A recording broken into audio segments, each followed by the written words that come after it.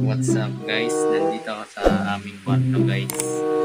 So, papakita ko sa inyo yung kwarto namin na pina, na maliit lang pero cute siya. Dito ang lagayan namin. Yan. Dalawa kami guys dito. Dalawa kami guys dito. Naka natutulog. Dito guys ang tulugan namin guys. Isang ceiling fan guys. Ano ba? May salamin din kami dito guys.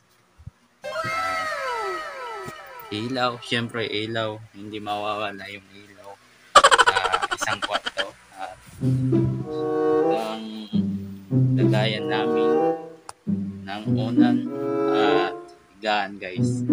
At ito guys, ipunan namin guys.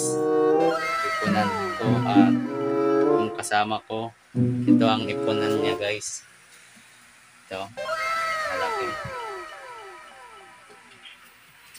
At ito guys. Pag pang vlog guys sa YouTube ko. Pang vlog guys. Dito guys sa aming kwarto. At medyo may iwas din dito.